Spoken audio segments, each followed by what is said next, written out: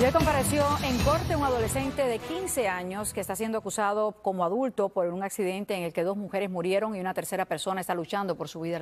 Efectivamente, Eliseo Yunieski Ramírez nos informa en vivo qué pasó hoy en la corte con ese adolescente. Yunieski.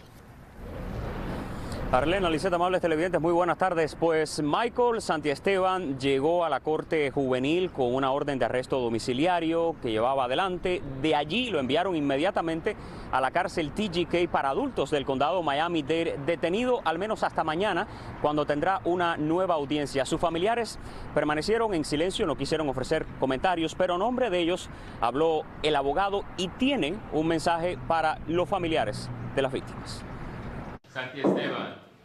Michael Santiesteban permaneció en silencio durante los tres minutos de la audiencia. Al lado su abogado y detrás sus padres. Todos escuchaban atentamente al juez mientras confirmaba que ahora su caso está en manos de la Corte Regular para Adultos. La orden de arresto publicada hoy presenta dos cargos de homicidio vehicular con conducción errática y tres por ocasionar un accidente vehicular grave, manejando sin licencia. Ha cometido prácticamente un asesinato. El hecho de eh, haber matado en un accidente a dos personas que hayan fallecido en el acto, dos personas y una tercera que se encuentra en estado crítico, muy crítico. Así reacciona la familia de Gloria Hernández y Yarina García, tía y sobrina que perdieron la vida en la colisión el 23 de abril. Quedó así.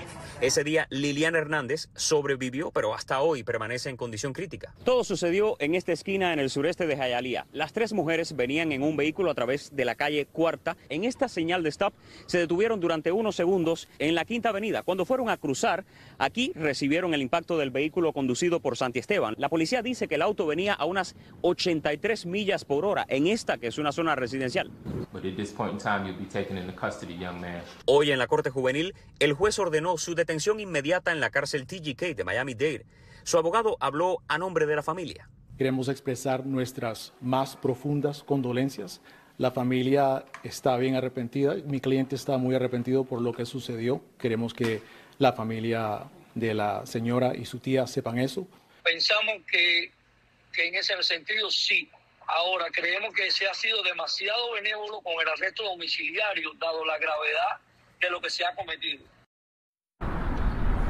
Bien, esas declaraciones les comento que las grabamos esta mañana antes de que se conociera la noticia, trascendiera la noticia de que Santi Esteban había sido detenido nuevamente. Después de eso nosotros regresamos aquí a Jayalía, por eso estamos aquí, porque hablamos con los familiares de Yarina, Gloria y Liliana, que ellos también tienen un mensaje importante para transmitir a los familiares de Santi Esteban. Con eso venimos esta noche a las 11 desde Jayalía. Junieski Ramírez, Noticiero Telemundo 50.